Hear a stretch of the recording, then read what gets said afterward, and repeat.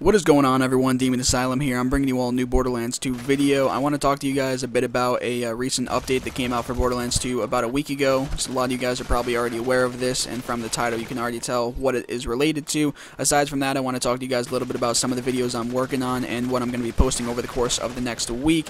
Uh, but before I get into any of that, I just want to apologize for not posting a video in the past couple days. I was quite busy, so there wasn't much I could do about it. Uh, you guys don't have to worry about that, though. I have plenty of videos coming throughout the next week, and next weekend I'll definitely have some videos posted up for you all.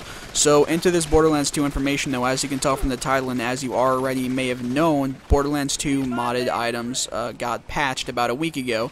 And just to make you guys aware, not all modded items are quote-unquote patched now. Most all of them, such as the hybrid items and the really heavily modded stuff, more more of the really cool and interesting and, and useful modded items were patched. But just so you're all aware, there is still ways to quote-unquote modify or mod items in Borderlands 2. But again, they're not going to be anywhere near as cool or interesting or as effective as the hybrid weapons that we had before they got patched were.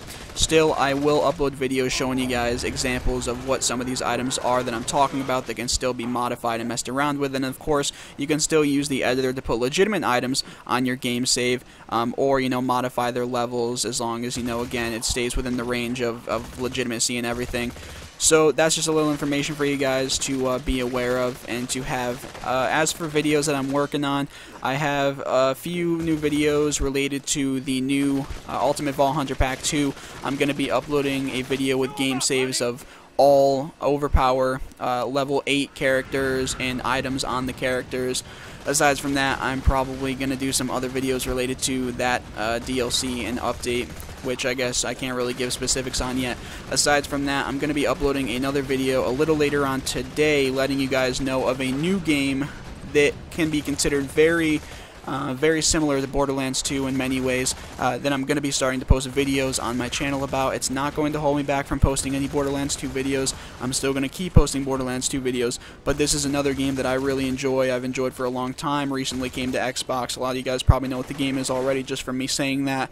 And again, it, eh, the concept of the game and a lot of the stuff in the game is very similar to Borderlands 2, so I wouldn't be surprised if a lot of you guys have the game, like the game, or would end up liking the game. But regardless, I'm going to be posting a lot of videos to that and of course related to Borderlands 2. So pretty much I guess that is all I got for you guys for this video. Again, I'll have that other video about the new game posted a little later on tonight and I'll have many more videos coming for you guys throughout this week. I hope you guys enjoyed. If you did, please be sure to give this video a like and subscribe to my channel for many more Borderlands 2 videos to come. Thanks for watching guys and peace out.